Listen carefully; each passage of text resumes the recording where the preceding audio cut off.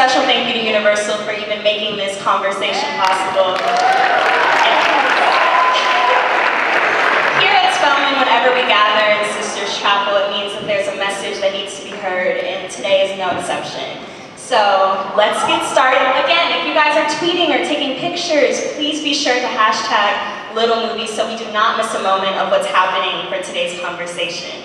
So are you guys ready? Without further ado, I would love, love, love a big round of applause for the cast and director of Little. Ready? We have Regina Hall.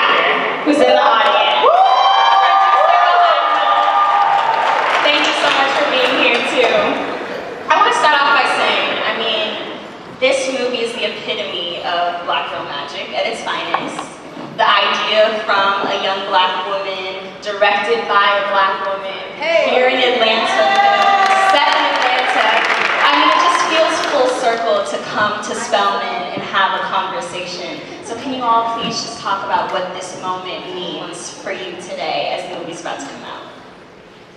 I didn't get accepted in this film.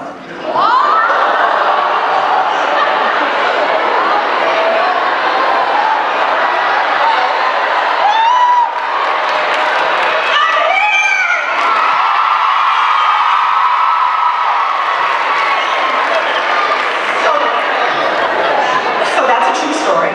And um, so for me, I just think life is incredible. You can take all kinds of roads to get to a place that's special to you, that you held in your heart.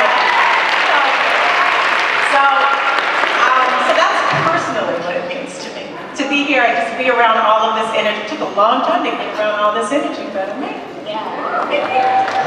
Hi guys.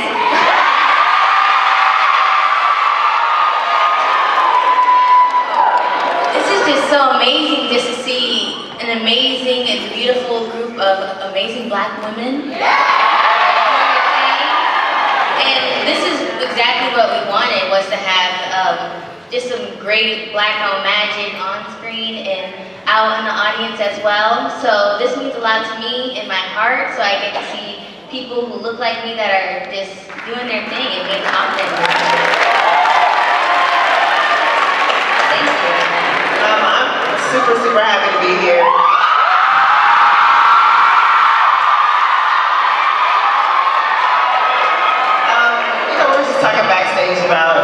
Is who we represent and this is who we make content for. When I first did um, promo for Insecure, this was like one of our first stops. You know, thank you guys so much for your support, your excitement, and we hope you watch the movie. I just, I'm excited to be here because I feel like I'm looking at an incredible future. I see like beautiful faces and incredible minds and I am hopeful and I am so incredibly proud to be a black woman amongst you all. I want to get started with you, Marsai. Um, not only was Little the idea that you came up with, but also you executive produced this film. Can you talk a little bit about what that means? Because a lot of people don't even know what goes behind executive producing a film. Well, I'm gonna be honest. Like when I heard like the producer title, I was like, hmm, "What is that? Interesting." But a producer is basically a person who like helps provide for the film and also help create it. Also, for for me, uh, I also created Little. So when when I actually heard it, it was like surreal to me because I, I thought this actually happened. Like I thought someone my age that has done this before, and I was just like, you know, producer title, hey. But when I heard that I was the first one, and it happened to be a young black girl from Little Texas, which was me. It was, yeah. and it, it was. It was surreal, and I am just beyond grateful just to be around amazing people and surround myself with like positive energy all the time. And I, I think that's what like keeps me going. And of course, with my wonderful parents and my little sister, like them helping me, you know, just, and just guiding me through this process is absolutely amazing, and it means a lot to me. So. What I love so much about this movie is that I think that it highlights wearing many hats in the industry is a gift. And it's something that you should do. You should know how to wear many hats. Issa, can you talk a little bit about being a writer, coming up with your own content, starring in a movie? How does that feel um, navigating those spaces? Um, it all kind of happened by accident, if I'm being real. Um, doing a web, web series, I was producing web series in the past um, before Awkward Black Girl, before putting myself in my own, and was just directing, editing, producing them, and then when I came up with the idea for Awkward Black Girl, I wanted my friend to be in it, but she was like, girl, I'm in DC and I'm in law school and you're not paying, so I was like, okay, cool, cool, cool, that's what's up. And then just decided like I, I didn't, I didn't want to wait for anybody and I was in it. And so that ended up catapulting my career and working for HBO and working with HBO rather and um, working on Insecure, you do wear multiple hats, but I have so many great people who are in specific lanes to just help me because it's a learning process throughout. Mm-hmm. Um, and something like this was kind of a vacation in that, you know, you have this wonderful director, the creator here, and star, EP yeah. star here too, and all I had to do was just come to set and kind of just execute someone else's vision. Um, and, and that was such a pleasure, I learned so much being a part of part of this production that I could also apply to, to future films that I do and do apply. Right. I think it's important that we bring each other in on projects because oftentimes if we're not given the opportunity, we have to create it for ourselves.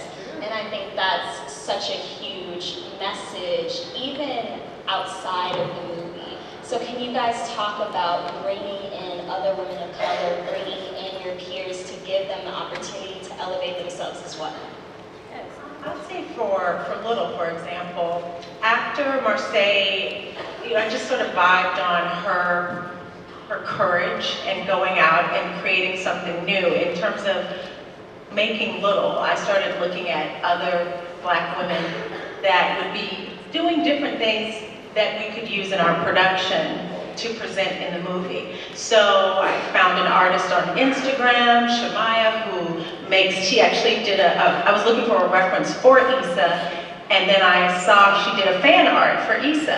And so I, I asked her to do the art for the movie. So Big Jordan's apartment is done by, a, you know, very cool artist um, that I found on Instagram. And a lot of the fashions that people love, um, you don't have to be like in a store, or we just like, we love what you're doing, right. let's, let's do something together. And I think those smaller steps are, are just as important as when you get a co-star that, you know, is gonna be in the film.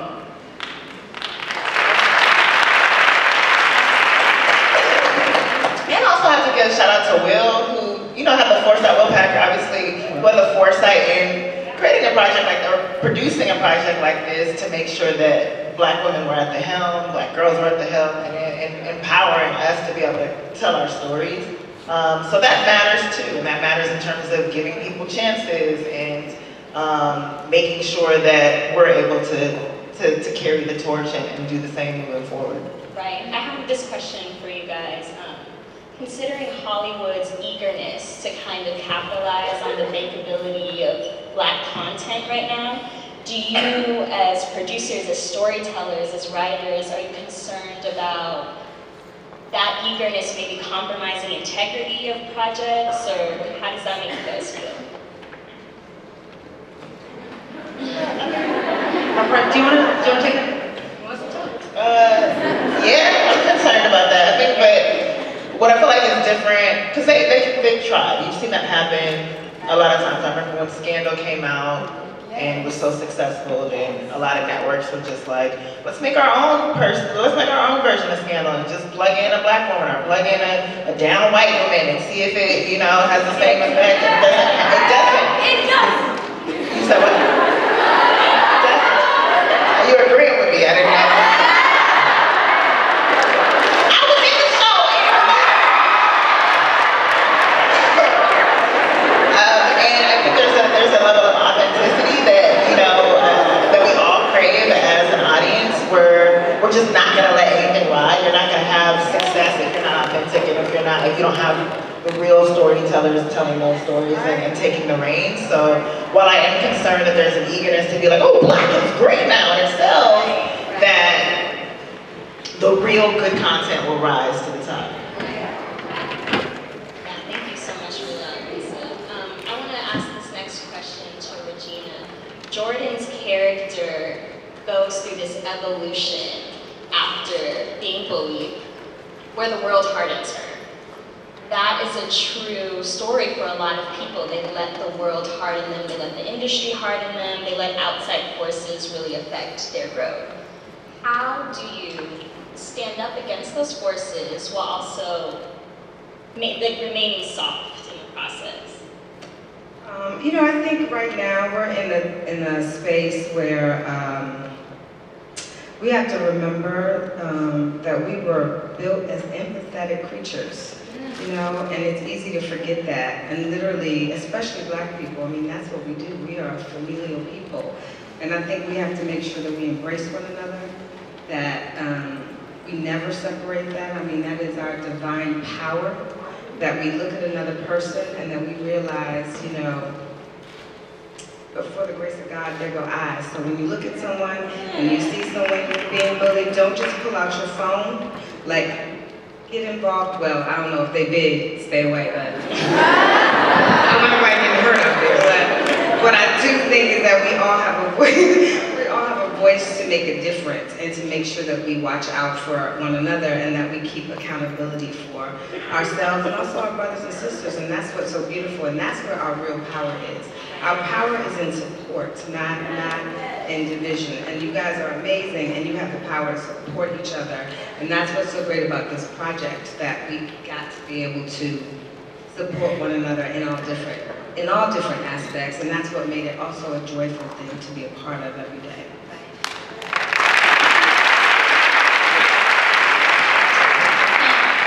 Another theme of the movie that really stuck out to me was rejection and how you meet rejection, how you respond to hearing those.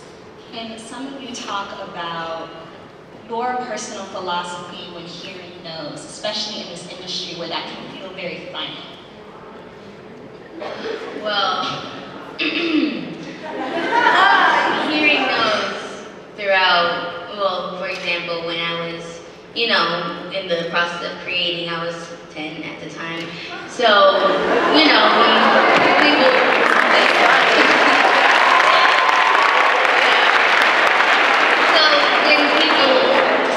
it was more like, no, you know? Yeah. I'm literally just a 10 year old girl who's still doing school and trying to learn the ABCs. Like, you know, no one's gonna talk to me and like hear what I'm trying to say. But I feel like when you, I feel like when you stick to the like right people and go with the people that you trust, which are my parents and my family and Kenya Barris, which is the creator of Blackish, I grew up with them. Right. And then adding Will Packer to the mix and just them hearing my story made me feel more confident in myself because I didn't get to see that often. And it was more of, I think because I was like a black girl, oh, I know it was because I was a black girl because I was, you know, they judge the book by its cover. Yeah. So I feel like now we're in like a different place where people are seeing us more.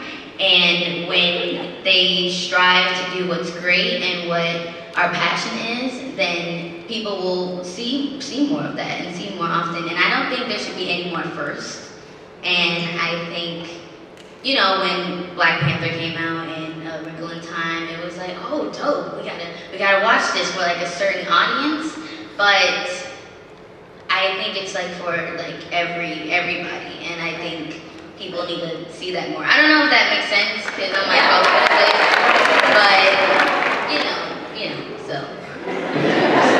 I'm like all nervous and stuff. No, it does. I think too, there's this misconception in Hollywood that things happen overnight. Yeah. And people get put on overnight and people's stories get heard overnight. It's tough because I think with the idea of the bullying and the rejection, um, even when, when writing and working on Little, I, at the end you have to ask yourself, what, am, what are you distilling the message down to? And it sounds simple, be yourself, right? But that takes so much time to, to hear that voice versus all the other voices that are telling you, you can't do that, nobody's done that before, you're not from the right place to do that, or watching you on social media, or you're watching someone else's life and judging it against that. And it's a, it's a long process to hear that still voice, and even when someone says no to you, you can hear the right voice in your head that says, keep going, Right. keep going, keep going. And so you have to sort of get quiet to hear it. And that in this society, it's, it's hard to take that time to do it. But it's a simple message, be yourself, but it's a process to hear the right voice in your head to tell you, go, go, go absolutely. And I thank you.